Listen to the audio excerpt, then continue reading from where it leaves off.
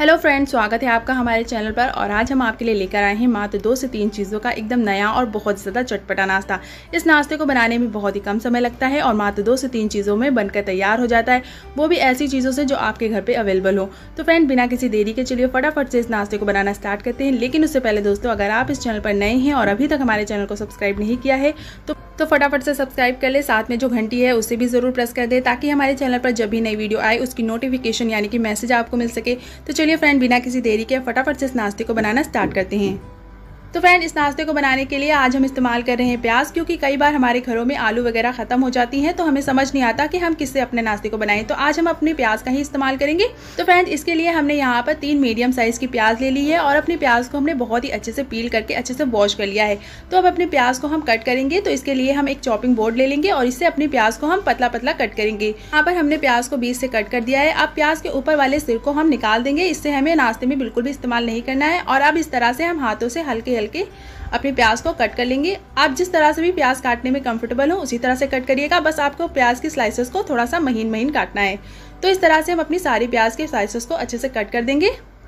तो फ्रेंड यहाँ पे मैं दो से तीन लोगों का नाश्ता तैयार कर रही हूँ। तो यहाँ पर तीन प्याज बहुत ही ज़्यादा इनफ है। अगर आपके घर में बहुत ज़्यादा मेंबर हो तो आप अपनी प्याज की क्वांटिटी को बढ़ा भी सकते हैं। तो चलिए फटाफट से अपनी सारी प्याज को हम कट कर लेते हैं। तो फ्रेंड्स यहाँ पर आप देख सकते हैं, हमने भी सारी प्याज को अच्छे से कट कर लिया है। तो इसी तरह से आपको अपनी प्याज को कट कर लेना है। तो अब हम एक बोल ले लेंगे और अपने प्याज को हम उसमें ट्रांसफ़र कर देंगे। तो फ्रेंड्स यहाँ पे मैं बोल का इस्तेमाल कर रही हूँ। आप चाहे तो किसी गहरे बर्तन का भी इस्तेमाल कर सकते हैं। तो यहाँ पर आप देख सकते हैं, हमने अपनी सारी प्याज को बोल में ट्रांसफ़र कर दिया है। तो फ्रेंड्स आप अपनी प्याज में हम डालेंगे तीन से चार बारीक कटी हुई हरी मिर्च। तो हरी मिर्च आप अपने स्पाइस के अकॉर्डिंग डालिएगा। इसके बाद हम इसमें डाल देंगे एक चौथाई चम्मच के करीब साबुत जीरा। के बाद हम इसमें डाल देंगे एक छोटा चम्मच के करीब लाल काश्मीरी मिर्च। ये बिल्कुल भी तीखी नहीं होती, सिर्फ़ कलर के लिए हम इसमें डालेंगे। इसके बाद हम इसमें डाल देंगे स्वाद अनुसार नमक।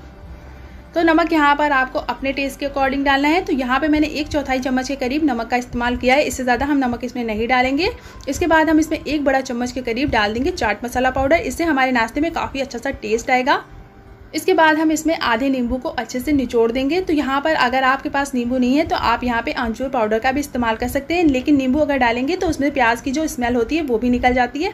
तो यहाँ पर मैं प्रेफर करूँगी आप नींबू का इस्तेमाल करें। तो अब इन सभी चीज़ों को हमें हाथों से अच्छे से मिक्स कर देना है, ताकि हमारी जो प्याज की स्लाइसेस हैं, वो अलग अलग हो जाए। तो फ्रेंड्स आप देख सकते हैं, हमने इसे बहुत ही अच्छे से मिक्स कर दिया है और हमारी प्याज में बहुत ही अच्छे से मसाले कोट हो चुके हैं। तो अब इस टाइम पर हम इसमें थोड़ा सा ऑयल डाल देंगे क्योंकि हमारी प्याज बहुत ज़्यादा पानी रिलीज़ करती है। तो ऑयल जो है थोड़ा सा बैलेंस करेगा ताकि हमारी जो प्याज है वो कम पानी रिलीज़ करे। तो इस तरह से ऑयल डाल के हम इसे हल्के हाथों से अच्छे से मिक्स कर लेंगे और इसे हम एक से दो मिनट के लिए रेस्ट दे देंगे। तो फ्रेंड दो से तीन मिनट हो चुके हैं तो अब हम इसमें डाल देंगे तीन छोटे चम्मच के करीब बेसन। तो यहाँ पे बेसन हम बाइंडिंग के लिए डाल रहे हैं। अगर आप बेसन का इस्तेमाल नहीं करना चाहते हैं तो आप इसे स्किप भी कर सकते हैं। तो फ्रेंड इसके अलावा हम इसमें डाल देंगे चार चम्मच के करीब चावल का आटा। तो यहाँ पे चावल के आटे को भिगोकर आपको अच्छे से सुखाकर पीस लेना है। तो इस तरह का आटा तैयार हो जाता है। तो हम इसमें चार चम्मच के करीब चावल का आटा डालेंगे। चावल का आटा डालने से ये होगा कि हमारा जो नाश्ता है वो बहुत ही अच्छे से क्रिस्पी और बहुत ही करारा बनेगा। तो अब इन सभी चीज़ों को हमें हल्के हाथों से अच्छे से मिक्स कर लेना है। तो फ्रेंड्स यहाँ पर आप देख सकते हैं कि अभी इसमें थोड़ी सी ड्राइनेस है, क्योंकि हमने पहले से प्याज को मिक्स कर लिया है। इससे हमें पता चल जाएगा कि हमारे नाश्ते में कितनी ज़्यादा पानी की रिक्वायरमेंट है। तो इस तरह से हम इसमें थोड़ा सा पानी ऐड करेंगे और इसे हम अच्छे से बाइंड कर लेंगे। तो इसमें हमें बहुत ज़्यादा पानी ऐड करने की ज़रूरत नहीं है, क्योंकि प्याज भी हमारी पानी छोड़ेगी। तो इस तरह से हम हल्के हाथों से अच्छे से बाइंड कर लेंगे और इसे हम एक से दो मिनट के लिए रेस्ट पे छोड़ देंगे, ताकि हमें पता चल सके कि हमारी प्याज कितना पानी रिलीज़ कर रही है। तो यहाँ पर इसे हम अच्छे से मोड़ कर रख देंगे। तो चलिए फ्रेंड इसे हम रस दे देते हैं। तो फ्रेंड्स हमारा मिक्सचर अब तैयार हो चुका है तो अब इससे हम फटाफट अपना नाश्ता बनाना स्टार्ट करेंगे। तो इसके लिए हम हाथों में हल्का सा तेल लगाएँगे, क्योंकि हमारा जो नाश्ते का मिश्रण है, वो थोड़ा सा चिपचिपा है। तो इस तरह से हम हाथों में तेल लगाकर इसे हल्के से गोल गोल बना लेंगे। तो इस तरह से हम इसे पहले लड्डू की शेप में बनाएँगे और फिर इस तरह से टैप करते हुए अच्छे से टिक्की की शेप दे देंगे। तो यहाँ पर आप देख सकते हैं कि हमने इसे राउंड शेप दिया है। आप चाहें तो इसे कोई भी शेप में बना सकते हैं। तो इसी तरह से हम अपने सारे नाश्ते को बनाकर रेडी कर लेंगे। फिर गैस की तरफ़ अपने नाश्ते को हम फटाफट से फ्राई करेंगे। तो इसके लिए हमने तेल को ऑलरेडी गर्म होने के लिए रख दिया है। तो जैसे ही हमारा तेल अच्छे से गर्म हो जाएगा, हम एक एक करके अपने सारे नाश्ते को इसमें ऐड कर देंगे। तो यहाँ पर इसे आपको लो टू मीडियम फ्लेम पर तकरीबन दो से तीन मिनट के लिए अच्छे से कुक होने के लिए पकाना है। तो फ्रेंड जैसे ही आपको लगे कि एक साइड से अच्छे से कुक हो गया है, तभी आपको इसकी दूसरी साइड को पलटना है। तो फ्रेंड दो से तीन मिनट के बाद हम इसकी साइड को अच्छे से पलट देंगे और इसे हम दूसरी साइड भी पलट कर अच्छे से क्रिस्पी होने तक पकाएँगे। तो फ्रेंड्स यहाँ पर आपको अपनी गैस की फ्लेम को बहुत ज़्यादा हाई नहीं करना है। अगर आपने इसे हाई फ्लेम पर पकाया तो ये अंदर से कच्चे रह जाएँगे। तो इसे आपको लो टू मीडियम फ्लेम पर तकरीबन दो से तीन मिनट के लिए अच्छे से पकाना है। जैसे जैसे ये पकेगा, हमारा नाश्ता बहुत ज़्यादा क्रिस्पी हो जाएगा। तो इससे हमें पता चल जाएगा कि हमारा नाश्ता अंदर से कुक हो चुका है। तो यही आपको लगे कि आपके नाश्ते में बहुत ही अच्छा सा कलर आ चुका है और काफ़ी अच्छे से क्रिस्प हो चुके हैं। तब उस टाइम पर आपको अपने नाश्ते को तेल से बाहर निकाल लेना है। तो चलिए फ्रेंड इसे अब हम तेल से बाहर निकाल लेते हैं और इसे हम फटाफट गर्मा गर्म सर्व करते हैं।